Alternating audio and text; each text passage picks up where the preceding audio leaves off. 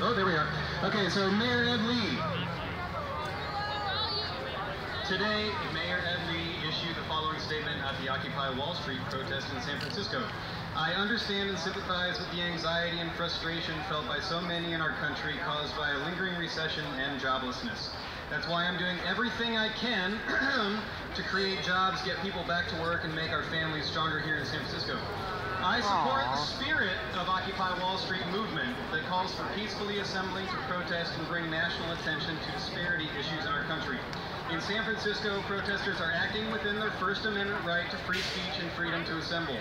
While allowing for peaceful protest, we must also ensure that our streets and sidewalks remain safe and accessible for everyone. I will continue to work closely with our police chief to ensure San Francisco responds appropriately to these demonstrations. San Francisco is a city that embraces free speech and freedom to assemble like no other city. So it's time to hold them accountable and tell them that we can just camp out and not be pestered by the cops any longer.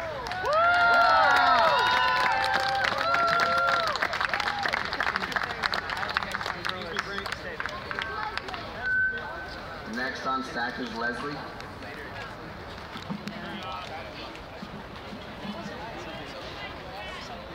Hi everyone, I'm Leslie.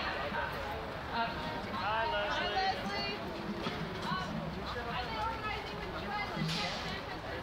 I've been organizing with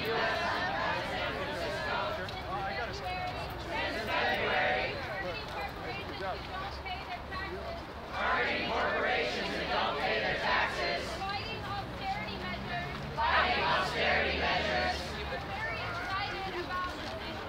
We are very excited about this movement. We have decided.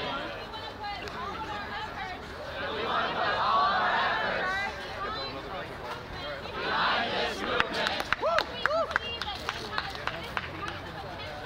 Because we believe that this has the potential of being incredibly beautiful, incredibly inclusive, Stay out of the way, not doing a good job. and actually achieve change. What we can offer is to help plan effective, creative, direct actions.